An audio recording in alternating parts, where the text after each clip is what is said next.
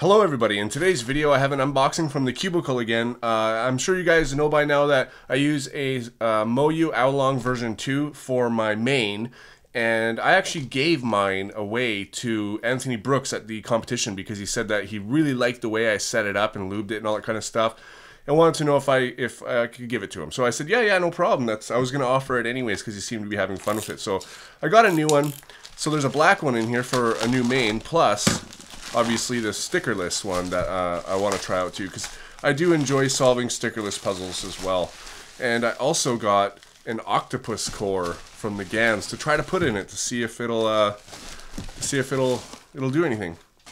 So here we have some more stickers for my black one. Here we have um, two different cards. Here we have the octopus core, so we can go in and take a look and this is what the core looks like. And I'm to try to put that in the in the, the black one, but I also have enough here for two. So I'm, if it works good, I'm to put it in the stickless one as well. So let's go ahead and uh, open this up and see how it feels. I'm sure, uh, you know, I'm to take it apart and I'm to lube it uh, properly and all that kind of stuff too, but all right. So this is the stickerless Moyu Aolong? Wow, that needs some lube. But really nice. Um, feels good. I really like the shades on it. It's your typical stickerless shades as well. And it moves really nice. It's just a bit dry right now. It doesn't uh, quite slide like I'd like it to. And uh, corner cuts obviously really, really well. Look at how good that corner cuts. Almost Wow, look at that. There's 45, go all the way to that line, and it still cuts. Maybe a little bit before that. Anyway, so I'm going to go ahead and I'm going to try to set up these puzzles with the octopus core and, and then come back and tell you guys uh, my results on this stuff. Alright guys, so I've had this puzzle for a little while now. Um, I had it through the holidays, so uh, I had some time to play with it and everything. And I just want to give you an update on the little experiment I was trying to do by putting the GAN's core inside of the uh, inside of the Aolong version 2 and it just doesn't work and I tried it inside of an Aolong version 1 as well and it just doesn't work. The pieces aren't fitted for that type of core. Um, not that it would have made a huge difference anyways, it was just somewhat of an experiment so um, I do thank the Cubicle for sending me the core to try it out anyways, even though it's not going to work.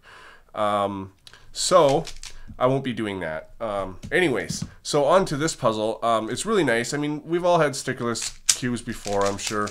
And uh, I, I don't think I lubed this one quite as well as I should have because once in a while I'm still getting spring noise as you can hear. So I, maybe I didn't put lube on that side. I don't know why, but anyways, um, I, I mostly solve with sticker puzzles now, where in the past, when I didn't really care about speed cubing at all, I would usually just uh, you know solve stickerless puzzles. And uh, but there is something really enjoyable about solving a stickerless puzzle, not feeling the stickers, uh, the way it looks, all that kind of stuff. So um, yeah, I just uh, I really enjoy this puzzle, and I'm just gonna do a quick little solve here. Nothing special. Um,